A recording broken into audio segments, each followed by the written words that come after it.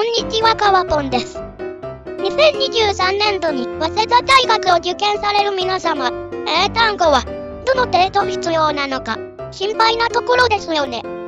一般的な、ターゲット線空白や、システム英単語を使用している受験生も多いと思います。果たして、これらの英単語帳で、早稲田を戦えるのでしょうか。各部ごとに、実際に出題されたハイレベル英単語の数で判断してみましょう。次にご紹介する数字は、2020年度と2021年度の英語の過去問を、すべての学部を実際に解いてみて、ターゲットとシステム英単語に記載されていないものを中心に洗い出したハイレベル英単語の数になります。絶対的な数字ではありませんので、軽い参考程度にしてください。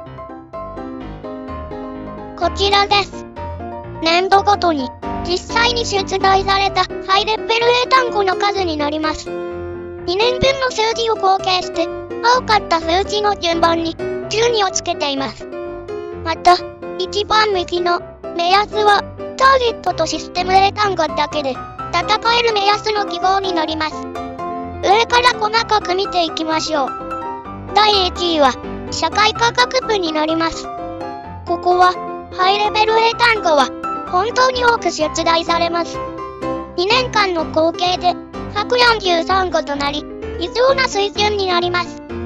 ここは単語だけで見れば、ターゲットやシステム英単語ではカバーできません。ただし、内容が難しすぎるので、ハイレベル英単語がカバーできたとしても、解けない可能性があり、運の要素が高くなります。そこまでハイレベル英単語を詰め込まなくても受かる場合もあります。また、2022年度の社会科学部はかなり簡単になった様子です。夏以降に改めて難易度を検証して10日にしますね。単語レベルも簡単になっていると思いますが、いずれにせよ、ハイレベル英単語は早めに意識しておいた方がいいでしょう。次に、2位と3位の文学部と文化構想学部になります。この2つの学部は、英語の形式は同じになります。ハイレベル英単語はかなり多いです。ハイレベル英単語は必要になります。4位が人間科学部になります。ここは2年間の合計が51語とやや多めですが、年度によっては少ない年度もあります。また、ハイレベル英単語の数は多くても、問題自体は解けるものも多めになりますので、戦える目安は三角とさせていただきました。恋が理工学部になります。ここもハイレベル英単語は多めになります。理系の英単語が多く出てきます。ただ、単語かわからなくても、テクニックで解ける問題も多くありますので、目安は三角。とさせていただきました。6位は法学部になります。やや多めになりますが、ハイレベル英単語がそこまで致命的にはなりません。わからなくても、実力があれば、解ける問題は多めになります。ただ、自由英作文などの記述問題がありますので、そのあたりで、流せてきます。目安は三角、としました。7位は小学部になります。ここは、2021年度はやや多めでしたが、基本的には少なめになります。